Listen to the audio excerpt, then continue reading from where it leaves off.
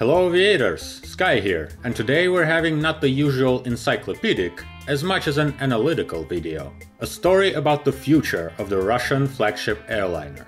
Let's begin. In 1988, the first Soviet long-range wide-body airliner Il-96 made its maiden flight. Equipped with the new engines and avionics, Il-96-300 significantly exceeded both the long-haul Il-62 and its direct predecessor, Il-86. However, among the advantages there was another one. Ilyushin engineers took into account the problems that arose when they tried to modify the Il-86, and during the Il-96 development, they gave it a huge modernization potential in various directions. All of this could make the airliner quite successful, if not for the collapse of the USSR and the rapid decline of the Russian aviation industry in the 1990s. The Il-86 production was stopped in 1997, and even though the Il-96 continued to be made, just 30 planes is not an impressive result. Nevertheless, the modernization potential of the aircraft played to its advantage. In 1993, the updated Il-96M was raised to the sky, the first child of the joint work of the Russian and American aviators. The aircraft received longer fuselage, Rockwell Collins avionics, and Pratt Whitney engines from the family of engines used on the Boeing 757 and C-17 Globemaster III. The capacity increased to 435 passengers and the range almost to 7,000 miles. The airliner even received the FAA certificate, but of course did not find much demand. It was 1997, Boeing had just developed the brand new 777 model, and the Russian airlines did not have enough money for such planes. As a result, the prototype eventually returned to the homeland, received the old NK86 engines, and appeared at MAKS 2003 airshow as an Il-96-400. In 2009, the plane was demolished. Il-96-400. Nevertheless, the impressive performance of the Il-96M did not allow it to go down in history forever. Moreover, in the 1990s, large twin-engine airliners had not yet conquered the sky, and in Europe, the Airbus A340, having close performance, was gaining popularity. Ilyushin Bureau decided not to miss the opportunity and created a new version on the basis of the Il-96M, replacing foreign components with the Russian ones. The index was left Il-96-400, but it was a modernized machine. The onboard systems were improved, and the new PS90A1 engines, with thrust up to 171 kN, were mounted under the wing.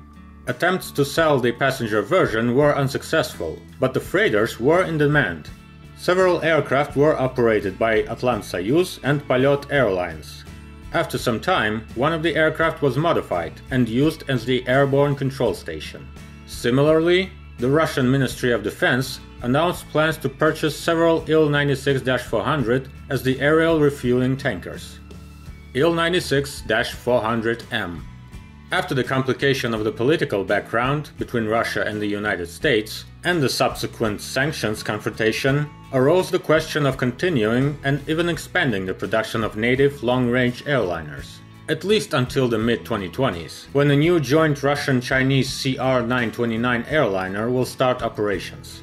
However, neither Il-96-300 nor Il-96-400 are efficient enough for our times, even for the government customers. The Ministry of Defense probably wants to order the aircraft, but with better performance than the ones they have now. The Ilyushin Design Bureau, as well as the UAC, had to make the aircraft effective and competitive in the current conditions. Of course, nobody planned to develop a completely new airliner. There were no resources nor time. They have to work with the existing technologies and preferably with minimal expenses. The Il-96-300, with all due respect, is obsolete. At the current stage of the aviation market, the 235 to 300 seat 4 engine passenger airliner cannot be competitive at all. One of the most common ways to evaluate the efficiency of a commercial airliner is the cost per passenger seat, and if the costs, fuel, maintenance, etc., cannot be significantly reduced, then the number of seats in the airplane can be increased. Therefore, the modernization plan included the increase of capacity, and the larger 435 passenger Il-96-400 became a basis. Nevertheless, in the current iteration, the IL-96-400 still does not satisfy the customer's requirements. It needs a serious update. Let's see what they can do about it. Power plant. The IL-96-300 power plant is based on the PS-90A engines. The IL-96-400 is heavier than its little brother, and to provide the necessary flight performance, it is equipped with four PS-90A1 turbofans. A very serious problem of the PS-90A engines family has always been their relatively low reliability and maintainability. Often the main problem of commercial operation of the IL-96 was precisely its engines. However, through many years these engines were brought to acceptable levels, and the new PS90A1, A2 and A3 can already be considered more effective. Not the GEnx of course, but acceptable. Or can engineers count on the more advanced engines? The first thing that comes to mind when pronouncing the phrase new Russian aircraft engine is PD-14. The PD-14 is the newest civilian turbofan, developed first of all for the MC-21 airliner. In addition, the leaders of the Russian aircraft industry are betting on this engine in the long term. However, with all the advantages, the engines are not powerful enough to be installed on the Il-96-400M. Often in discussion is the option of installing PD-14M, the more powerful version of PD-14, developed for the larger MC-21-400. But it can still be not powerful enough for the Il-96-400M. Another solution could be considered the PD-18, the engine created on the basis of PD-14. With thrust of nearly 180 kilonewtons, it is closest to what should be installed under the Il-96-400M wing. However, at the moment it is unknown when this engine will be created and will start the operations. Perhaps, taking into account the modernization of the Il-96, the creation of this engine will be accelerated. So, for the IL-96-400M there are three options. PS90A3, the closest to the implementation by terms and cost. PD14M, promising but not powerful enough. PD18, the most ideal option, but the terms of its creation are so far unknown. So, given this short development time, the updated PS engines will remain under the wing. Avionics the aircraft avionics are unlikely to be heavily modified. This may delay the development and certification process, and may grow on the project budget. It was officially stated that it is planned to modernize the cable network of the aircraft in order to increase efficiency and reduce the mass. Another important issue is, of course, the cabin and control system. The Il-96 is operated by a crew of three people, which is no longer relevant. Even for such a giant as A380, two pilots are enough.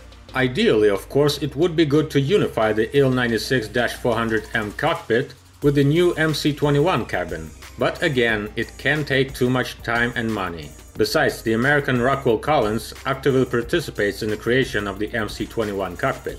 Technically and economically it is not a problem, but politically it may become a barrier, considering that most of the planes will still go to the government structures.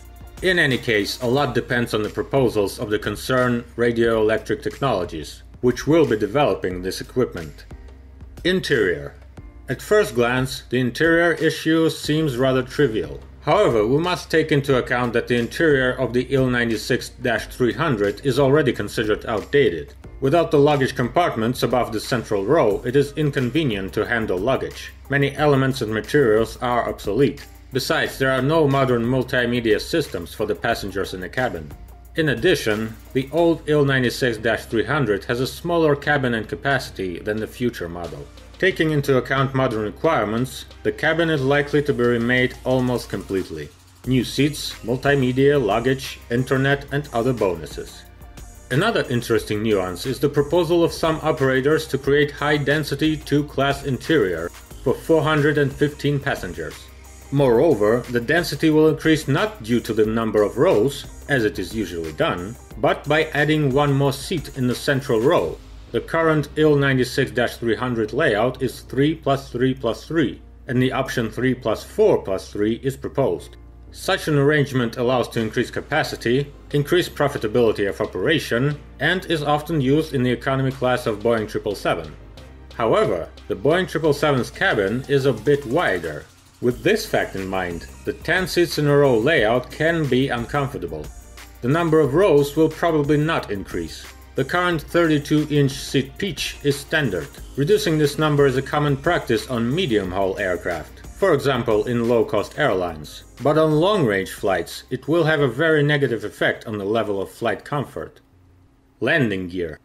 Another issue in terms of modernization can be considered the landing gear. IL-96, like its predecessor IL-86, has a three-bogie main landing gear. At one time it was necessary, given the huge mass of the aircraft, low quality of the runways, as well as the difficulties with the gears themselves. But in the 21st century, this practice is no longer optimal. More than two legs on the main landing gears are used only on the IL-96, Boeing 747 and Airbus A380. The second and the third planes are, putting it mildly, much heavier. The rest of today's models have two bogies, even the wide bodies like A350 and Boeing 777. The central bogie in this case is an appendix. It is just an additional mechanism requiring maintenance, occupying internal space, and adding mass. However, given the limited budgets and timeframes, it is necessary to look for a balance. Which is better, to create a new, more effective landing gear, or to leave the old one and save resources on development and certification? The answer to this question is yet to be revealed. IL-96-400M and CR-929. CR-929 is a Chinese and Russian developed long-range wide-body airliner with a capacity of 250 to 300 seats. It is assumed that this aircraft will start operations in the mid-2020s. It will be equipped with the optional European or American Rolls-Royce, Pratt Whitney or General Electric, as well as the future Russian PD-35 engines. At first glance, it may seem like Russia is creating two wide-body airliners at the same time, which is strange. However, it must be taken into account that these two aircraft belong to different markets. The CR929 accommodates 250 to 300 passengers, while the IL-96-400M seats from 330 to 435 passengers. In the model line, the IL-96 takes a step above the CR929. These airliners are different and complementary to each other. If comparing to the American and European model lines, the CR929 is closer to the Boeing 787 and Airbus A330, while the IL-96-400M to Boeing 777 and Airbus A350. IL-96X in addition, by the end of the 2020s, when the CR929 will receive the PD35, the same engine can become the basis of the updated IL-96 power plant. Let's call this new model X. This is the IL-96 version with two engines. This subject is pretty popular among the experts and in the media. The IL-96X can get not only the new engines, but also a twin-engine scheme, improved avionics, and a new composite wing. Under these conditions, the IL-96 may end up quite an impressive airplane. In addition, the issue of distribution of production capacities may be solved. The CR929 will be assembled in China. Everything is assembled in China. So, the IL-96X will remain at home. One plane per country. Again, there is a question, which is better? To create this new upgraded version of the existing IL-96 or to create a completely new airliner. A new plane, based on the experience of the CR929, would be more preferable technologically. But again, everything depends on the money.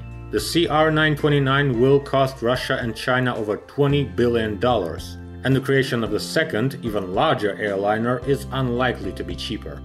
And this is the story, based, however, rather on my assumptions. We'll just have to wait for the facts.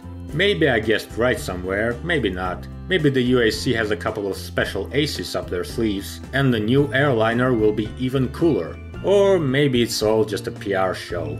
All that remains is to wait. And to like and subscribe for the channel, of course. Fast flights and soft landings to you.